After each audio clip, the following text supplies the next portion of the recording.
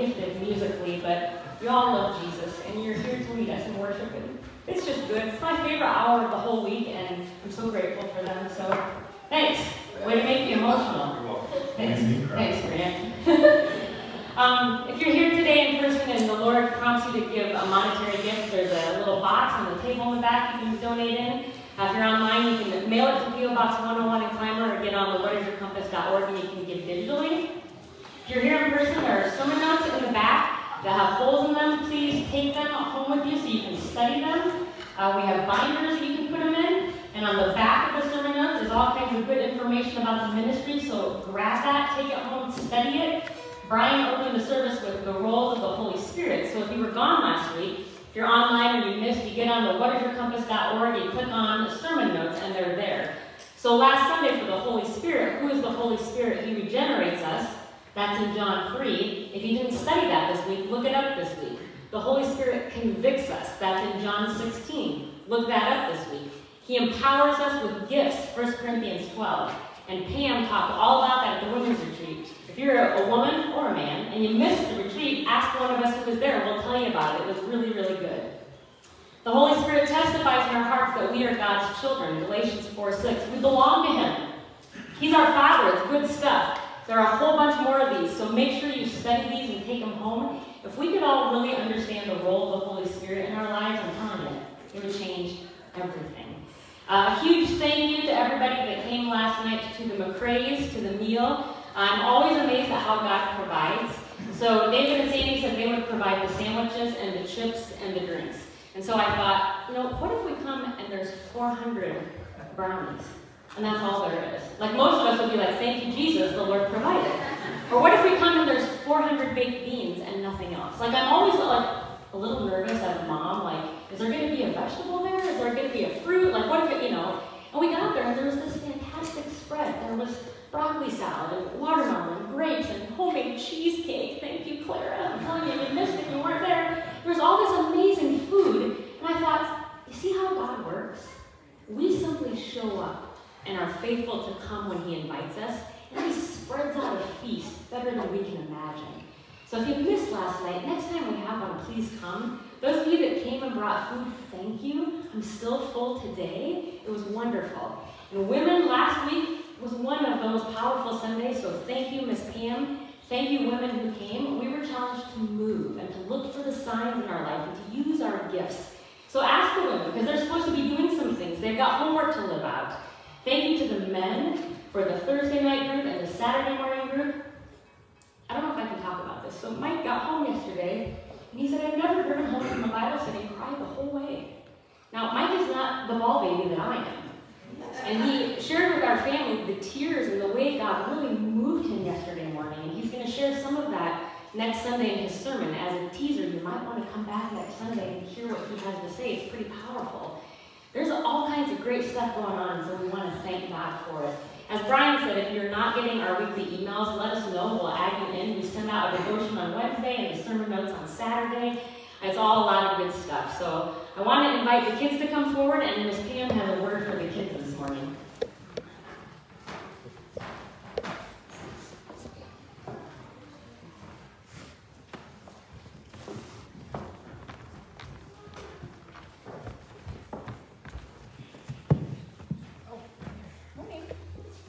Oh, she asked me. She asked me last night if I would hold the microphone for her. Yeah, they said, Rich said that they couldn't hear me in the background, so, okay. Good morning. Okay, so guys, with this. And who makes a home in a birdhouse? Oh, really? So somewhere out there, somebody has a bird, or a birdhouse. You need to go find it, go. Go find it, go find a bird. Who has a bird?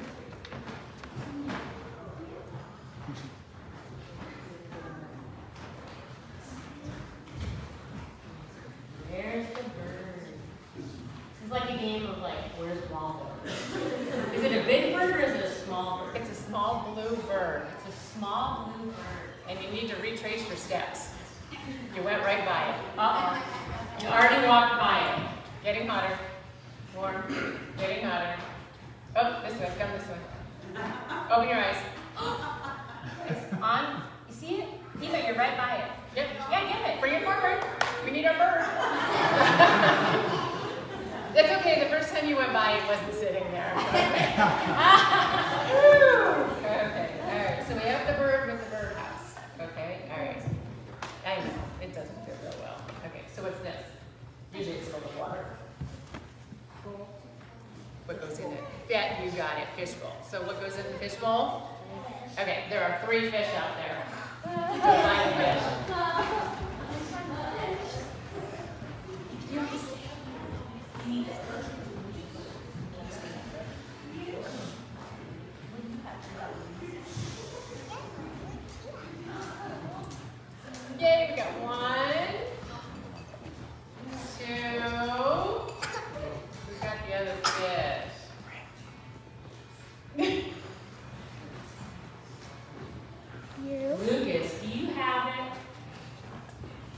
Jojo, are you hiding He it? Okay, we have our three fish to go in the fish bowl. Okay, well, so we'll take everybody out here. So it's kind of interesting that when God created our earth and filled the vast void that was there, that he chose to, on the second day of creation, create the sky, and then he created the sea. But then on the fifth day, guess what he did? He decided he wanted to fill the sky. So he filled the sky with all kinds of different birds. And they could move about freely in the sea. And then also on the fifth day, he decided that he needed to fill the sea. So he made all kinds of different kinds of fish to swim freely in the sea. It was kind of neat because God kind of had a plan, kind of had an order going here. Create the sky, fill it, create the sea, fill it. Well, he's got an order for your life too. Way before you were even born, he had an order and a path that he wanted you guys to go down too. He had an assignment for you. It's kind of like you need to follow that yellow brick road. Oh, I know. He created that path for you. And you know what? He gave you people along the way to help guide you on that path. What do you think the most important people are in your life that help guide you down that yellow brick road? Yeah, mom and dad. And here's what's interesting too, think about it. God had an order there too. He created mom and dad first, put them together, so that he could then create you for the path that you belong on. That's why we need to listen to mom and dad. Amen. Because God created, it does. It does. Yes. And so we have this path that we need to follow, but you know what sometimes happens? Somebody else's path looks more fun. And we kind of want to go down their path. But that's not our path. It'd be kind of like the bird trying to fit into a fishbowl. The bird cannot swim in a fishbowl, and the fish cannot fit into the birdhouse. We all have our own path. For adults, it's kind of like you swim in your sea, I'll swim in mine. We all have our own sea to swim in. And that's what we have to remember. So God created that path for us, and we want to be able to swim in our own sea. So let's pray. God, you created everything, and you had a plan, and you had an order to it. And you still continue with that order today. All we need to do is follow that order that you've given to us and use that path that you're guiding us on. Amen. Amen. I have something to give you to remind you of this. Oh, Okay. Did you guys listen? After the sermon, you have to find Miss Pam, and she has a gift for you. Don't forget. Don't forget. Okay, so kids are following Miss Sandy. Good job, Miss Sandy, thanks. Um, as a reminder, the families who are doing, um, dedication for their children are gonna meet after worship. So after you grab a snack or visit with people for a little while, Mike will be in the back, come find him, and then he'll take you in the back and you guys can talk through how we're gonna do that next Sunday. And then those of you who are being baptized, next Sunday after worship, Mike and I, and I think Corey, are gonna meet with people and talk about what baptism is and what that will be like on the twenty-sixth. So next Sunday, we're gonna be doing that. Next Sunday is also Father's Day, so there's all kinds of great stuff going on. If you have any questions about any of that, ask Mike or I afterwards. Um, this next song that we're gonna sing is called Trust in You. And this is a song that we started this whole service with eight years ago, coming out of Proverbs 3, 5, and 6, that we want to trust in the Lord with all of our heart and not our own understanding, which is really hard to do sometimes. Sometimes we pray for things and God doesn't answer our prayers the way we want Him to. Sometimes we ask God to move mountains in our lives and He doesn't move the mountains we ask Him to. And we still have to trust Him. That's part of, as Mike talked about last week, how a child just trusts their parent. Sometimes we don't understand what our parents tell us to do, and we don't understand why they say things to us, but we have to trust that they know best. So please stand as we sing the song put our trust in the Lord.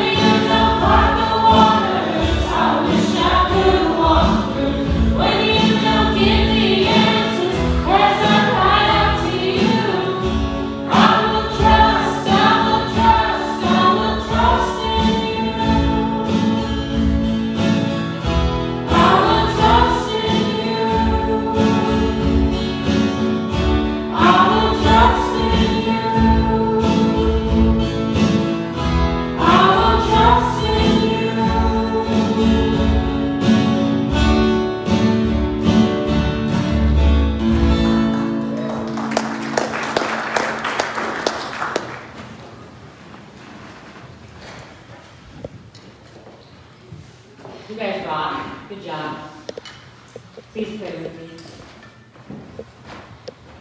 God, we thank you for the gift of worship. And we lift up to you the song that we have just sung. Lord, we are honest with you today and confess that we all have moments in life where we struggle to trust in your plan, where we struggle to see the goodness in the middle of a painful situation, or we struggle to see the light in the middle of darkness, or we've asked and we've begged and we've prayed for a prayer to be answered and a mountain to be moved, and it simply hasn't happened. So, God, in those moments when we struggle, remind us that we really can put our trust in you, that your plan is good, that you have your eye on us, that you are always working, even the tough times out for your good, and you have an incredible love for us, your children. God, we thank you for every good gift you give us. We thank you for the Holy Spirit. And we pray that the Holy Spirit would teach us and guide us and convict us and comfort us and move in us and through us. Thank you for your word. We pray in Jesus' name. Amen. So the picture on the screen is from the house we used to live in a couple years ago. We were looking out across Gravelin Hill Road, and this is our neighbor's barn. And if you can tell on the bottom, it was a foggy morning. So when Grace was really little, she would run up to the window and look out the window and say, Dad, it's foggy fog! It's foggy fog! I don't know why we called it foggy fog. It wasn't just plain old fog, it was foggy fog, which meant it was kind of hard to see and it wasn't clear. Do you ever have a day where it's a foggy fog day? I've had a lot of those foggy fog days lately where I just can't quite spiritually see what God is doing. Sometimes the foggy fog days are physical days, like you have a headache, or you have the flu, or your doctor calls and the cancer is back, or you get bad news that there was an accident and someone you love is gone, or the stock market went, and you're like, how am I going to retire now? Sometimes there are physical foggy fog days in our lives, but sometimes it's a spiritual foggy fog. And we just kind of have that heavy weight on our chest. We just feel like something's wrong and you don't know what it is and you're just struggling and you can't quite pray. Here's the good news on the foggy fog days. The fog isn't permanent. It doesn't last forever. Every morning the sun rises. So even though it was a foggy fog morning, the sun was breaking through and the fog eventually dissipated. So last Sunday we talked about Pentecost, and Mike walked us through all the great scriptures Brian and I have talked about. We talked about who the Holy Spirit is. And if you weren't here, and if you were here, I challenge you to go back and watch the sermon and study the sermon notes again. I've looked through them a few times, and every time I do, I get convicted in a different way. Pentecost is something that happened thousands of years ago. And as we've talked for a few weeks about biblical remembrance, we remember Pentecost so we can bring it back today. So we can have Pentecost in our lives every day. So we can experience the Holy Spirit. So the fog can kind of disappear and the sun can break through. Because we need the sun. We need the sun, the S-O-N, and we need the sun, S-U-N. There's something powerful, isn't there, about a sunrise or a sunset and how beautiful it is and how it just captivates you and you, wow, this is amazing. So my prayer today is that you will start to feel a little more of the Holy Spirit in your life so that the fog will dissipate and the sun will shine a little bit brighter. The sermon today is about Trinity truths that transform us. That is a tongue twister. Try to say that 10 times fast. Addison's trying. Trinity truths transform us. Trinity truths transform us. The Trinity is the three, the Father, the Son, and the Holy Spirit. In the church calendar, like you can keep a calendar, you keep track of birthdays and anniversaries and the first day of school and the last day of school. In the church calendar, we celebrate Christmas, which is a big one. We celebrate Easter, which is a big one. Last Sunday was Pentecost, which is a big one. Today in the church calendar is Trinity Sunday. And most of you might be thinking, and what does that mean? Trinity Sunday follows Pentecost Sunday because on Pentecost, the Holy Spirit came. And Trinity Sunday is when we celebrate the fullness of the Father, the Son, and the Holy Spirit. Now, this is just my opinion of what I have observed in my own life and in the church in general after 26 years of ministry. Some of us really live into the Father. Like, God is our Father, and we love Him and we trust Him. Some of us love the Son, and we're grateful for Jesus, and He saves us. And some of us are more spirit filled than others, and we're, woo, no Holy Spirit. But what if we lived into the truth that all three of them offer to us, we would be transformed as a church and as individuals and our families. So this is what I'm praying today, is that the truths about the Trinity that we're going to learn about will transform us the way that the sun breaks through the fog and helps us to see clearly. Not just physically, but I want us to see spiritually. So go ahead, Joe. If you have your sermon notes, we're going to be looking at John 14 if you want to get a Pew Bible out or if you're at home and want to open up your Bible. This is Jesus speaking to his friends, and these are really important words to hear. So we're going to start in John 14. This is Jesus explaining how he's the way to the Father. So remember, we're talking about the Trinity the Father, the Son, and the Holy Spirit. So God is three in one. It's kind of confusing, but I'm hoping that as we walk through the scripture, this will help explain it. So, verse 1 in John 14, Jesus says, and maybe you need to hear this today do not let your hearts be troubled. Amen. Sarah, preach it. Anybody else need to hear that today? Do not let your heart be troubled, whatever you're going through. Jesus says, believe in God, the Father, believe also in me. Now, how do we not let our hearts be troubled when we watch the news, when we hear what's going on, when we get frustrated with the world and life and sin? How do we not get troubled? Here. In my Father's house, Jesus says, there are many dwelling places. If it were not so, would I have told you that I go to prepare a place for you? Now stop for a minute. When you're going to go on a vacation, and maybe you're going to go visit a family member who is far away, you haven't seen them for a while, and they start to tell you like the countdown, you know, five days, four days, three days. I'm getting it ready. I'm preparing it. I'm stocking the fridge. I'm washing the towels. I'm getting the bed ready. Everything's going to be prepared for you. The anticipation builds. Jesus is telling us you don't have to be troubled or afraid of what's happening in the world because I'm preparing something for you. So what is he preparing? Verse 3, if I go and prepare a place for you, I will come again and will take you to myself, so that where I am, you may be also. So now, remember what we have just been going through as a church. We had Easter where Jesus died and he rose. And we had Pentecost where he ascended and then he sent the Holy Spirit. So Jesus is saying, I don't think you have to be troubled. Because I'm going to go prepare a place for you. And I'm going to come get you and bring you to me. And where I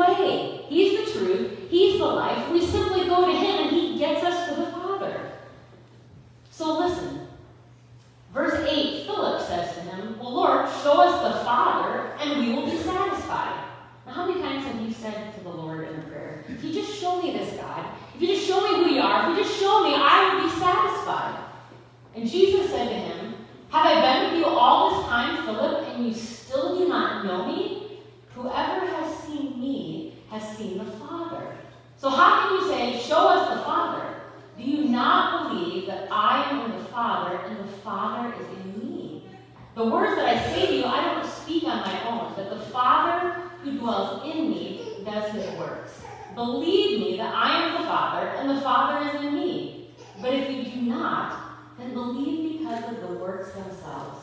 Very truly, verse 12, I say to you, the one who believes in me, listen to this, believe it or not, will also do the works that I do.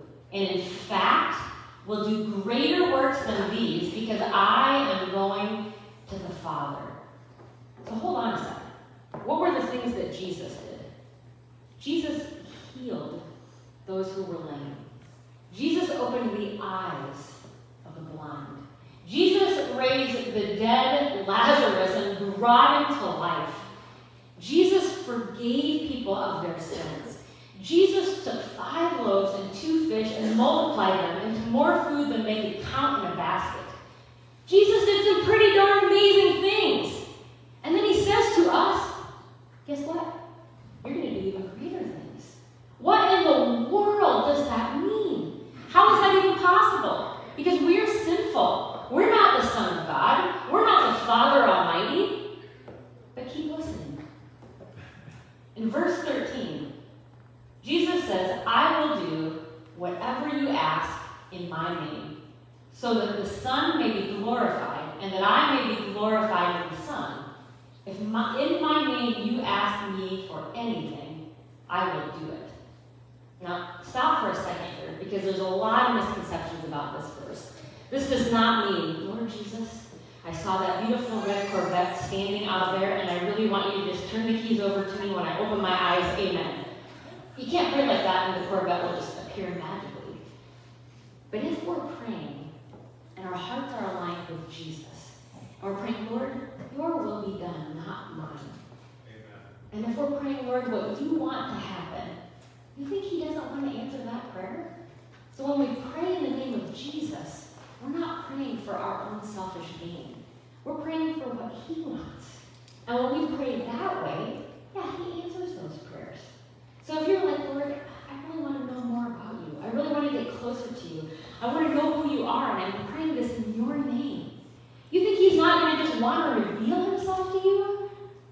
Last Sunday, Mike shared the story about our kids and they would come in for lunch, and he talked about how Lucas would climb up the stairs and slam the door, and you could hear his feet running, and Mike would brace himself because Lucas would jump on him and about tackle him, and he was so excited to see him every time. Do you think if Lucas would have said, Dad, can we please share that big sandwich now? When Lucas asked for things, Mike's going to say, no, not today. No, you're not going to eat today, kid. Sorry. You're just going to sit there. I mean, when your kid asks you for food, you give it to them willingly and joyfully and happily, you can't wait to share that moment with them. When we come to Jesus and we ask in His name, wanting what He wants, that's when He says, I'm going to do that. I'm going to work for you. So you've got to understand that verse very carefully, and that's part of the Trinity truths I want to talk about today. We have access to God the Father, who, as Pam talked about, created the whole world in Genesis. We have access to God because of Jesus, because of the Son. And God and Jesus are one and the same, and yet they're different. And that makes no sense. And you have to have that come at you by faith. So Jesus is saying, you get to be to God if you come to me, because I'm the same as my Father. We're one. So how is that possible? Go ahead, Joe. So we continue in John 14 on verse 15. Jesus says, if you love me, you will keep my commandments. So yesterday, when Mike came home from his Bible study, we were talking with the kids and reminiscing on some of our parenting um, successes and mistakes over the last 21 years. We are not perfect parents. We have made plenty of mistakes. If you want to ask our kids, they could talk for hours, I'm sure, and tell you about them. But we talked about a Bible study Mike and I did when they were little called Growing Kids God's Way. And in the Bible study, he talked about how you want to teach your kids to obey. And when they start out young, you teach them to obey because they have to. Because we're the parents and we know how to keep them safe. And the kids are young and they don't understand the rules. For example, last night at McCrae's, we're eating. And Jody English was like a hawk on Kaylee. Because Kaylee likes to run around. She's fast and the road was right there. Now, why do you want your kid to obey you and not run into the road? Because you want to keep them alive. Right? The parent knows that. The kid doesn't understand that. So Mike used to try to teach Grace to be obedient. And he would take her out in the backyard, and I really should probably have you come up and tell the story. But he would take her out in the backyard and would throw a stick and say, okay, Grace, look me in the eye and say, I'm going to go pick up that stick. Yes, Dad. And then go pick up the stick. Because he wanted to start to get her to obey, kind of like training a, a little puppy dog. And now the reason for this is because there was a time when Grace was Kaylee's age and she did run in the middle of the road. while we were talking to people after church, and right after we snagged her, semi went by, and it was that close. So we realized, like, this is important for the sake of her safety. And Mike tells the story that he'd start to throw the twig, and she'd just run after him. And he'd say, no, no, no, Grace, say yes, Dad. The girl shouldn't be running and getting the. Yes, Dad, no, go do it. Why do we make our kids obey us? Because we want them to be safe. But as they grow older, we don't want them to obey us because they have to. We want them to obey because. There's a point in the parent-child relationship where it changes, and the kid doesn't just get home by 11 o'clock curfew because they have to, but they get home by 11 o'clock curfew because they want to, Sarah. Because they want to obey their parents. Jesus is saying, if you love me, you obey my commands. You don't just obey my commands because you have to, because, oh, you can't sin, you can't commit adultery, you can't steal, you can't commit murder, you can't do the Ten Commandments. We obey him because. Jesus said, I will ask the Father, and he'll give you another advocate to be with you forever. This is the Spirit of truth, whom the world cannot receive because it neither sees him nor knows him. But you know him because he abides with you, and he will be in you. I will not leave you orphaned. So Jesus is letting them know, I'm going to die, I'm going to leave, but you won't be orphaned. I'm coming to you. In a little while, the world will no longer see me, but you will see me. Because I live, you also will live.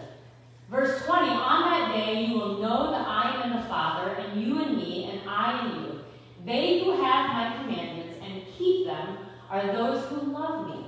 And those who love me will be loved by my Father, and I will love them and reveal myself to them. Judas, not Iscariot, said to him, Lord, how is it that you will reveal yourself to us and not to the world? Jesus answered him, Those who love me will keep my word, and my Father will love them, and we will come to them and make our home with them. Whoever does not love me does not keep my words. And the word that you hear is not mine, but it's from the Father who sent me. I have said these things to you while I am with you, that the advocate, the Holy Spirit, whom the Father will send in my name, will teach you everything and remind you of all that I have said. So it's Trinity Sunday. So God the Father is the one who sent his son Jesus. Jesus is the one who died and reconciled us to the Father. And then Jesus said, now I'm sending the Spirit to be with you every day, to help you, to guide you, to convict you. So go ahead, Joe. So then Jesus wraps up John 14 in verse 27.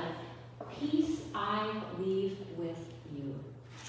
Last night at the bonfire, somebody asked me, so who's preaching tomorrow? And I said, I am. Like, what are you preaching on? And I said, well, the Holy Spirit and Trinity and John 14 and peace and the need for peace. And this mom said to me, oh, I need peace. I said, amen. Don't we all need peace, ironically? We all need a little bit of the peace Jesus offers. So listen to what he says in verse 27. Peace I leave with you. My peace I give to you. I do not give as the world gives. Don't let your hearts be troubled. That was what we started in John 14, remember? Don't let your hearts be troubled and do not let them be afraid. You heard me say to you, I'm going away and I'm coming to you. If you loved me, you would rejoice that I'm going to the Father, because the Father is greater than I. And now that I have told you this before it occurs, so that when it does occur, you may believe. I will no longer talk much with you, for the ruler of this world is coming. He has no power over me. Maybe you need to hear that today. Satan likes to attack and divide. And in John 10:10 it says that he comes to steal and kill and destroy. But if we have Jesus in us, and we have the Holy Spirit in us, Jesus said, that devil has no power over me. Do you understand that? So when Satan attacks us and we get so frustrated with the devil, we have to remind ourselves of what Jesus said. Satan has no power over Jesus, and we have Jesus in us. Jesus says, But I do as the Father has commanded me, so that the world may know that I love the Father. Rise, let us be on our way. So Mike and I have talked about our trips to Israel with Ray Vander Laan. Ray Vander Laan has a ministry called That the World May Know. Where did he get the title for his ministry? And he takes people all to Israel. He has these amazing teachers. He travels and he transforms people with his talks and his Bible teaching. He gets his ministry out of this verse in John 14. So the world may know. So why do we have Jesus and God and the Holy Spirit? And why do we experience Pentecost? And why do we pray for more of God in our lives? So that we can experience it, but also so that the world will know who he is. All right, go ahead, Joe. So Mike and I have been preaching from and talking about this book by Dane Ortlund called Gentle and Lowly. This is what he says when he talks about the Trinity. What should come into our mind when we think about God the Father, God the Son, and God the Holy Spirit? The triune God is three in one, a fountain of endless mercy extending, overflowing, providing for us everything we need. This is who he is, the Father, the Son, and the Holy Spirit. So Wayne Grudem says this, in one sense, the doctrine of the Trinity is a mystery that we will never be able to understand fully. So if you're sitting there today thinking, this whole Trinity thing, I can't wrap my mind around it. You're not meant to wrap your mind around it. You're not going to understand it fully. However, we can understand something of its truth by summarizing the teaching of Scripture in three statements. God is three persons, each person is fully God, and there is one God. There you have it. That's the Trinity in a nutshell. Go ahead, Joe. That quote is also in your sermon notes if you want to take that one and study that more. So here are the three parts, and this is what I want to wrap up with. Trinity truths that will transform you. If you know who God is, and who Jesus is, and who the Spirit is, and you start to tap into praying all three of them, it will transform you. So God is a good, good Father. He's faithful. You can trust Him. If you trust your Father's provision daily, it will change everything. So Mike talked last week about how our kids would run in the house, so excited for Dad to greet them and to have lunch with them and share a meal with them. Did you ever trust one time that there would not be food to eat? Did you ever think, well, what if Dad isn't there? What if he doesn't feed me? What if he doesn't take care of me? Did, did you ever doubt that? Any of you? Of course not, because you trust your Father. You trust He'll take care of you. In the same way a young child trusts their parent, we need to trust God. He's a good dad. He will take care of us. So this is the prayer I want you to pray this week so that you can start to tap into this Trinity truth that will transform you. So it's in your sermon notes. God, you are faithful and put my trust in you. So when you have one of those really bad days this week, or you, you get kind of fearful, or you start to struggle, or you get tired, I want you to pull this out. God, you are faithful. I'm going to put my trust in you. It's like the song we sang. Even if the mountain doesn't move, even if the prayer isn't answered, what if you would trust God this week? Because He's your dad and He wants to take care of you. All right, second truth comes from Jesus, who is a Savior who bore all of our sins so that we can be reconciled to the Father. He's the way, the truth, and the life. So John 10:10, 10, 10, which talked about Satan attacking us, also says that Jesus came to give us abundance. How many of you want abundance? Like you just want to live into it fully. So this is a prayer that Pastor Kevin Korver taught me when I was going to Third Reformed Church in Pella, Iowa during my college days. He said I would start every day reminding myself who God is and who I am. Lord Jesus Christ, Son of God, have mercy on me, a sinner. So we start with God the Father. He's good. We can trust him. And then we go to Jesus, who made the way for us to be reconciled Father. And we say, Lord Jesus Christ, Son of God, have mercy on me. I'm a sinner. And you know what? He gives us mercy every time. And then finally, the third one is the Holy Spirit. The Holy Spirit is our helper, our paraclete, our comforter, our guide, all the things that Mike talked about last week, all those scriptures. And he connects us to the Father and the Son. I don't know about you, but I need God the Father that I can trust. I need Jesus to save me from my sin, and I need the Holy Spirit every minute of every single day. So I had a friend in high school, and she married a guy named Mike Megison, and Mike Megison emailed me years ago, and I've never forgotten. And he said, Aaron, you don't know what to pray. Romans 8 says the Spirit will intercede with groans and words you can't understand, and you simply need to cry out, Holy Spirit, help. He's like, when you walk into a room and you start to get panicked, Holy Spirit, help. When you have this feeling like, I don't know what to say or pray, Holy Spirit, help. The Holy Spirit will help because the Holy Spirit does that. All right, Joe, so we got one more to wrap this up. Trinity truths for you to trust. This is what's in the little box on the sermon notes for you to take home. God is a good, good Father who is faithful. You can trust him, no matter what. God sent his only Son, Jesus, to prepare the way for us so that we would believe in the Father. He saves us from our sin. And the Holy Spirit lives in us and empowers us to have peace and to guide us. I want peace. I don't want my heart to be troubled. I don't want to be afraid. And I want to look forward to the hope of the place He's preparing for me. You do? Isn't that important? Uh, the song that we're going to close with today is called Lord, I Need You. Oh, I need you. I don't know about you, but I need God the Father. I need the Holy Spirit. And I need Jesus the Son, all to help me. Now, how can you experience this? So, as we wrap this up today, last Sunday, Mike had that donut on stage from Clara, and he read through the ingredients, and he talked about how it doesn't do you any good to have the donut ingredients if you're not willing to eat it and experience it and taste it. So I can stand up here and preach for two more hours, and I can read all of John 14 to you again, but it's just a recipe for you. Now the ball is in your court. Now you need to take these sermon notes home with you and open up your Bible and reread John 14 this start to pray. God, you're good, you're faithful, I can trust you. Jesus, I need you to forgive me of my sin. Holy Spirit, help. And start to let these truths transform you throughout the week. So last night, as we were at McCrae's, there was a family that had three little kids there. I believe they were like five, three, and two. And the five-year-old, the oldest sister, would be running around, and like a shadow, the little three-year-old brother would follow behind, wouldn't miss a beat. And then all of a sudden, the younger sister would follow behind, and the three of them would just go off together. And there was a moment where these three kids, out of nowhere, just came together and just hugged each other. And I said to their dad, they get along so well. And he was like, yeah, not always. But it was this beautiful moment, and I thought, this is the Trinity. This is God the Father, Jesus the Son, and the Holy Spirit. They're one. They love each other. They're together, but they're all different. And we need all of them in our lives. And I want you to experience fully how God the Father loves you, how the Holy Spirit can empower you, and how Jesus connects us to all of them. So I don't know about you, but I need them, and so do you. So please pray with me as we wrap up.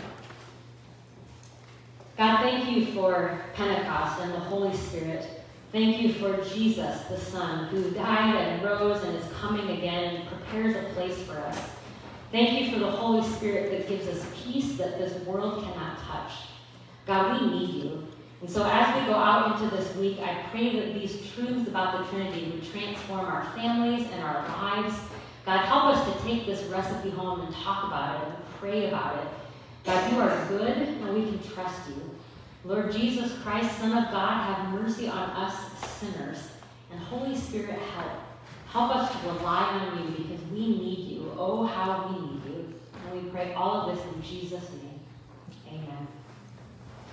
Amen.